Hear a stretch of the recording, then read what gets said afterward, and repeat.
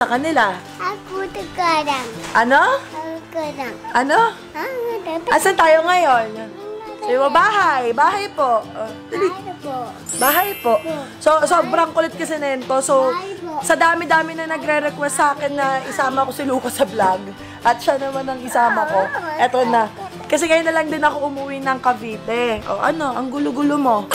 Maliligo na tayo. Ang dirty na natin. Di ba magmamall tayo? Magmamall tayo, hindi. Lucas, magmamall tayo, hindi. Ang hirap ng may kasamang bata. Sino mami mo? Ay na, mami. Dapat, Ma sino dapat. mami? Turo mami. Turo mami. Kiss mo mami. Hoy! Kiss mo mami. Kiss mami. Hoy, ako yung mami mo, hindi yung camera. Ako yung mami niya. Tapos si mama yung mama niya.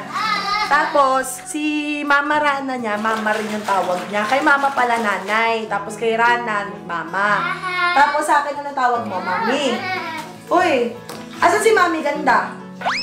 Anong tuturo mo? Doon, ano dito yung mami mong maganda, oh. O, kiss mo si mami ganda. Dali. Hoy, i-kiss mo ako. Love you. Happy you, dapat. I love you. So, explain ko sa inyo mamaya lahat-lahat. Pag halimbawa parehas na kaming okay. So, ayan, we're taking a bath. Siguro sasabihin nyo, ang corny naman na ito maligo, naka-t-shirt. Pero okay lang, kasi nga yung bata, Oy, kita yung pututoy mo. O sige, kukunin nila yan. Just taking care of you, Mommy. Mami? Thank you. Thank you. Thank you. Magbibili tayo ng cars. Ide cars? Yes, bibili tayo ng cars.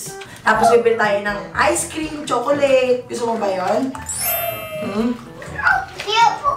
Yung mama ko, lagi siya pinapaliguan dito. Kasi dati, pinaka matagal na pagpapaligo ko sa kanya hanggang 5 months siya.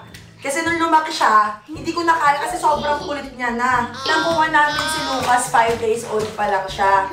Nung dinala siya sa amin ng totoong magulang niya. Hanggang napasok ako sa school, ako'y nag-aalaga sa kanya.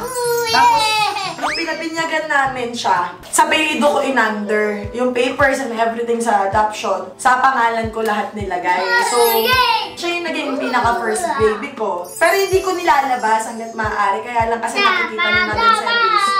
Tapos number one, most requested ko pa sa YouTube vlog ko na isama ko naman si Lucas sa susunod.